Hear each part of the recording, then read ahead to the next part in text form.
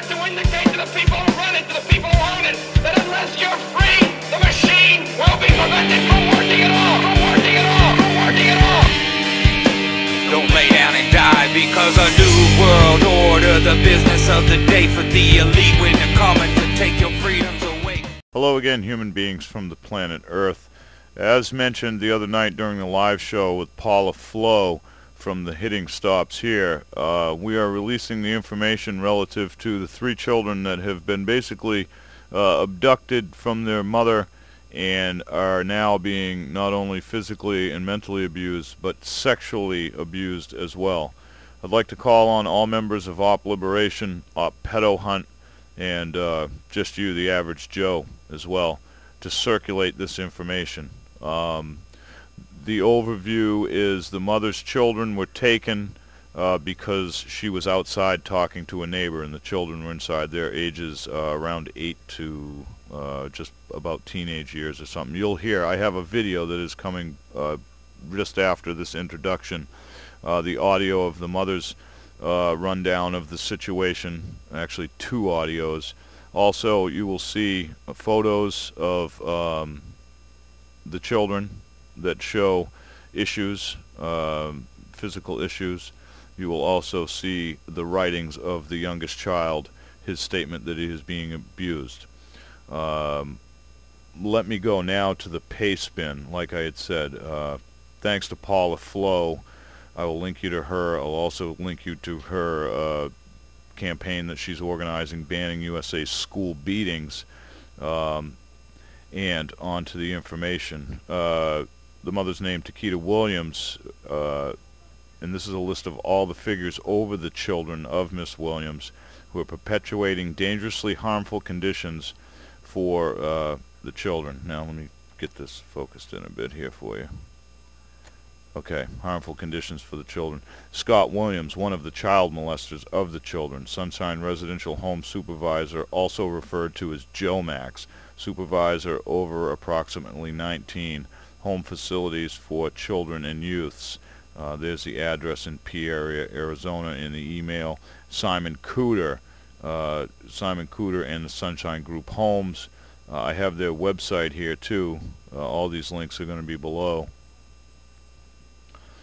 Uh, okay, computer, comply with me, please. Uh, very late. Anyway, a bunch of information here. Jeremy Brower, Child Protective Service case manager, aware of all abuse, restricting mom from seeing her children now because she has taken pictures and examines their bodies on her visits like a good mom would do. She fears he will send them off soon without being required to give their whereabouts. And from what I understand, the Sunshine Group folks, there's many different buildings. It's uh, kind of like a Diamond Ranch Academy. They've spread themselves out um, and have their own little uh, cult-like uh, environment. Okay, uh, Jennifer Sanders, attorney for Mr. Keita Williams, attempted to force unnecessary surgery on the oldest son, still pursuing uh, this procedure for him. Mom's been warned uh, by Paul Flowe to refrain from complying by signing any paperwork. Uh, Thea Gilbert, attorney of the children, ineffective, unhelpful, zero counseling offered to the children. You'll hear in these audios uh, all this stuff that's being overviewed now and why this information is relevant. I will link you to the pastebin. Use that however you feel necessary. Um, the names of the schools that the children are attending. And again all the staff members have been told that they can't talk about the children. The children do not have access to counselors. They do not have an independent party protecting them. And this is this this can't happen not with these allegations. Now could it all be made up by the children? Doesn't matter to me they're out there unprotected, taken away from their mother, and the initial charges from uh, that were put on the mother were later dropped because they they were false. I mean, you know, uh, your kids are watching TV. You have a right to go out in your yard, talk to your neighbor, just like you have a right to sit in your house while your children play in the neighborhood. Um, so anyway, uh, mayor, city council members of the area, Paul has really gone out of her way uh, to nail down everybody. Um, and she is tenacious, folks, but she needs your help as as I do. This mom needs our help. So again, calling on all members of Op Liberation and Op Pedo Hunt. Uh, we all have some work to do. I want to thank everybody ahead of time because I know you will help. Uh, and thank you for fighting for the children.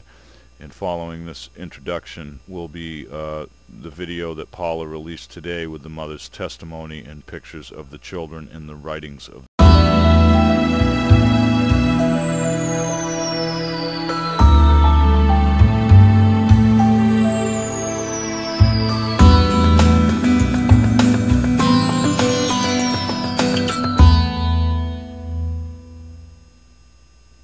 If they dismissed the charges, how come they didn't give you back your children? They waited for me to get done with my parenting services. Oh, And that, and they said that they claimed that uh, my hair test was negative. I mean, was positive. But they said it was a chronic use of cocaine use, but it came up negative in the urine. And cocaine, chronic cocaine use, that's a daily usage, and it didn't come up in the in the urine sample. And they said it came up in the urine sample, and all the tests have been negative ever since they've been giving them to me. And I and I've not been in one rehabilitation center in your life? in my in my life. So then you didn't. another parent that they falsely accused her with a false positive too. So you're saying that you never used cocaine, but they acted like you did through these test results. Yes, they did, but I'm getting it rectified. I've been taking up classes, and I'm studying up classes and everything, and got housing and everything, and they still won't return them back. Oh, and even though they proved that you weren't guilty regarding being outside the house, because what were you doing? What were you doing? out there talking to neighbors. Okay. You mentioned to me one of the men had his penis on your one of your boy's buttocks. You told me tell me tell me about that just in a short version. My two children, um, who were in all three of them were in group home, Love and Emmanuel, and Love got in some trouble. They got in also um, in doc, in a doctrine in a notated form that uh, Love was sneaking out the room trying to call me, but him and his brother Emmanuel happened to be walking along the door, and they happened to catch a man laying down on a on the brother on the little brother, and they happened to push him off, and they got in trouble for that. And the policeman said that she's gonna she took the children out of the house and separated them due to the fact that she was informed that I told them to watch over their little brother because the little baby had got molested, in which I got an email I had them sent to you stating where they even had admitted that themselves Oh, I that the see. child had been molested. What what are the ages of your children again? Love Devon Speed is 12 now. March 19, 2001. And Emmanuel James Speed, he's 9. And Romeo Riley, we call him Joshua, he's 6. Which one? March 22nd. Both of your kids saw that happen to the little boy. Yes, they did. Okay, and then they were the ones that tried to push him off, so they separated them where they can't protect him anymore. Is that correct? That's correct. What is it that your goal is right now, so we're on the same page?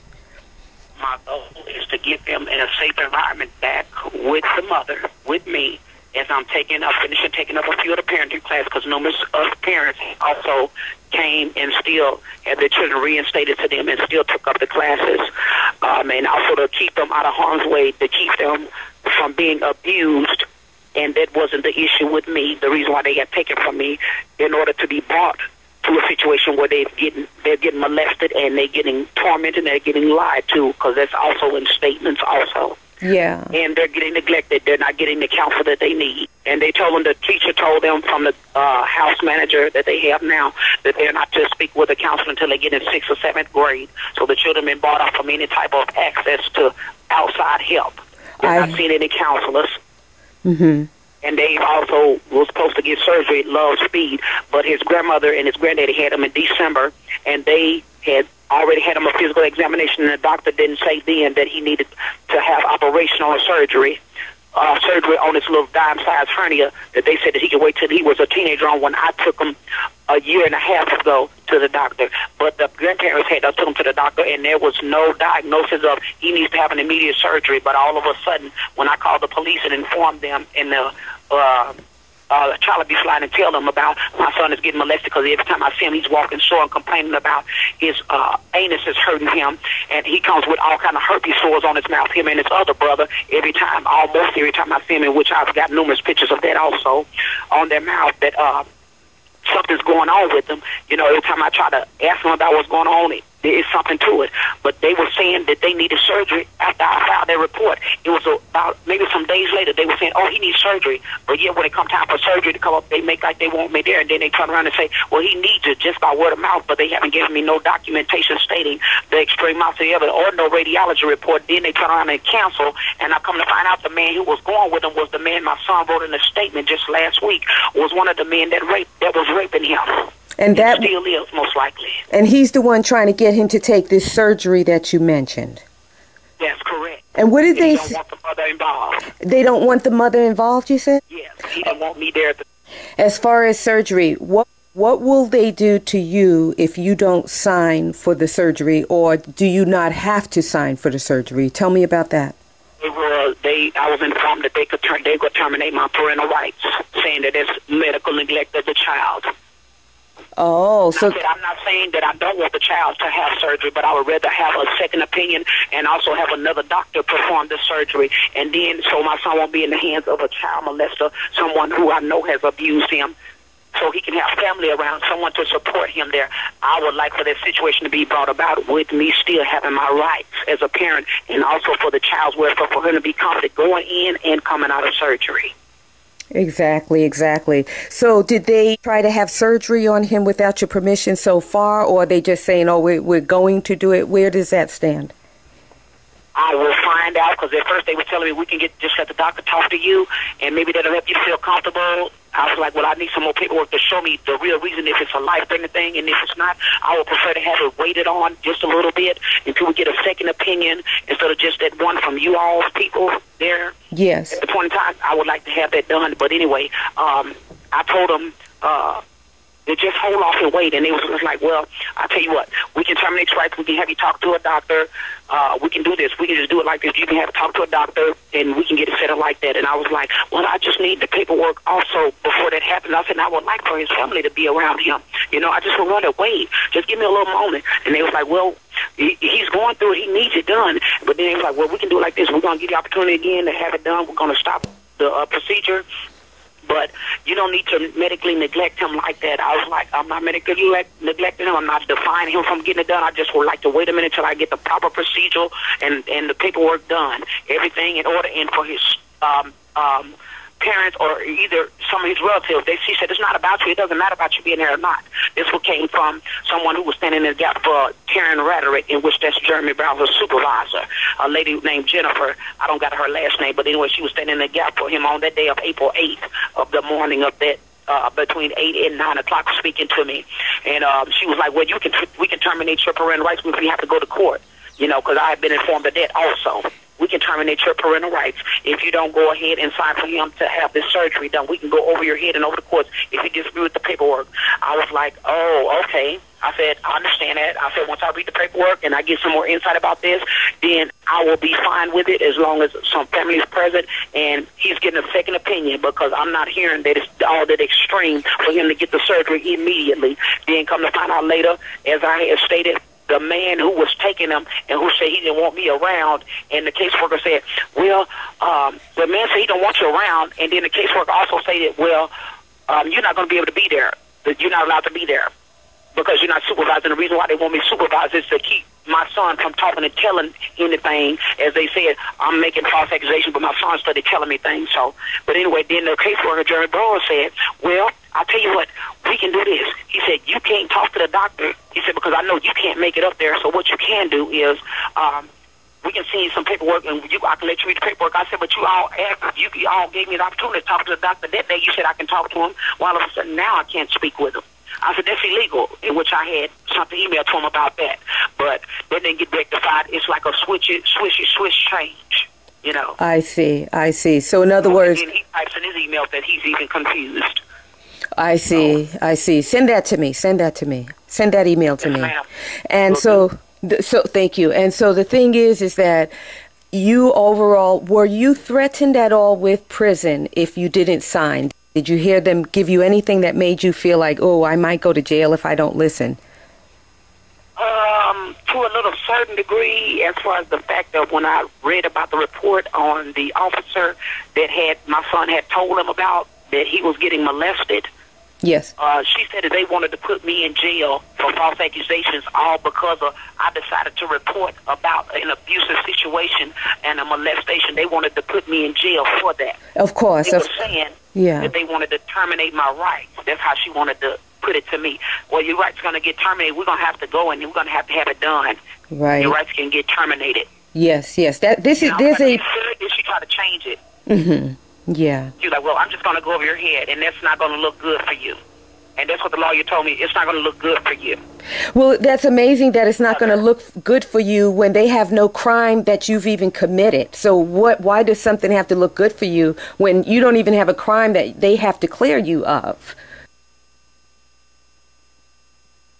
I thought you mentioned to me that they said that uh, they could put you in prison for interfering with his well-being or his medical needs if you didn't sign. They they didn't say that, in other words. They were saying in so many words, trying to tell me, you can get in serious trouble for this. This can cause you great detriment. Did they say anything about that landing in jail, or did they just say detriment? You can get in serious trouble for this. And my trouble, when you said threaten me like that, I figured that means jail. I would Or think, something bad. yes, something bad because you, the child who came from your womb, isn't having a surgery that wasn't an emergency until he was in their hands. Right. I After the see. police report of the molestation was done, a few days later. Now they want to do surgery. God knows what they want to do to your son. Uh, Exactly. Yes. there's numerous, and numerous uh, uh, uh, doctor's records showing where he went to the doctor.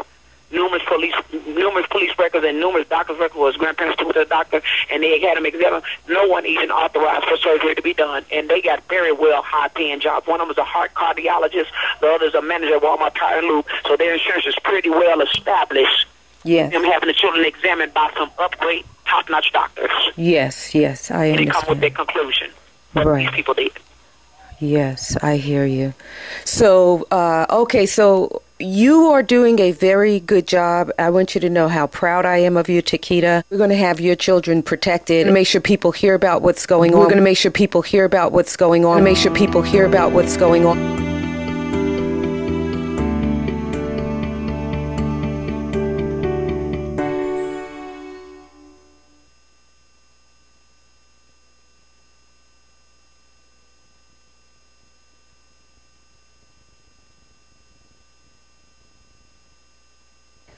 How you doing? What's going on? Um, I, I've been.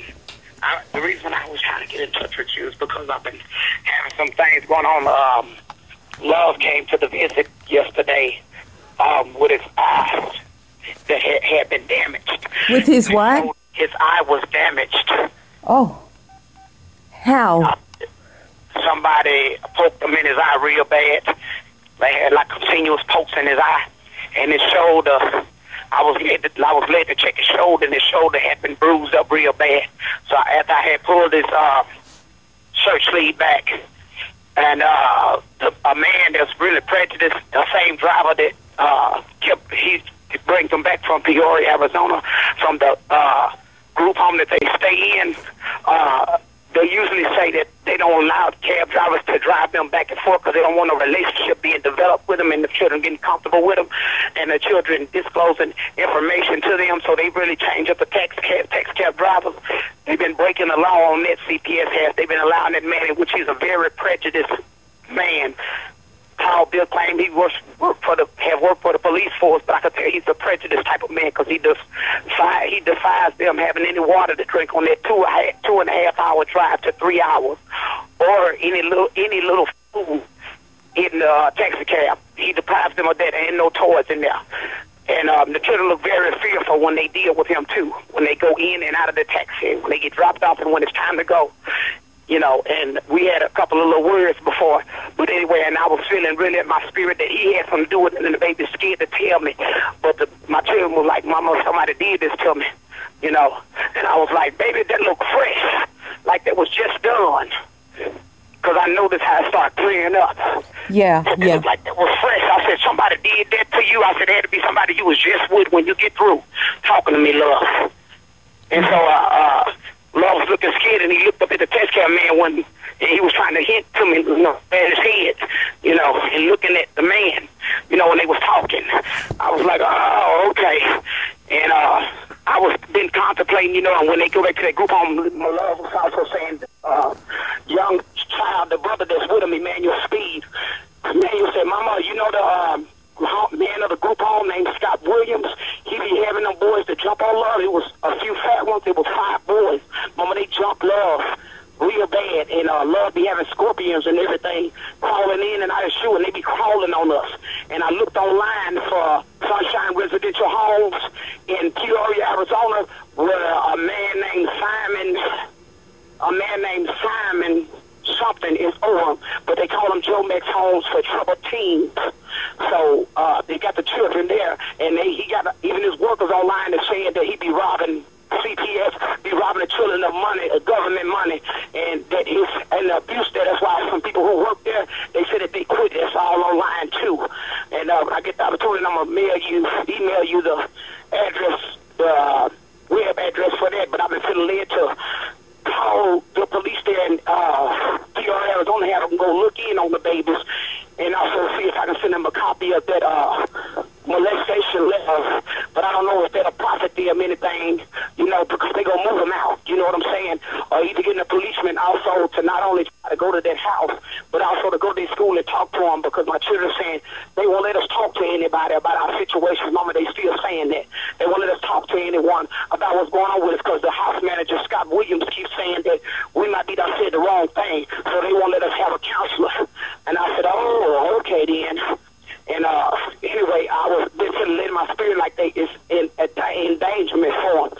They in danger, you know. They are. I've been trying to rest from that, but I'm like, Lord, then well, where, when uh, you all do get involved to a certain degree, uh, how will we be able to locate them? Because last time Jeremy, the caseworker, he kept them from me for weeks, you know, and and that was illegal what he did.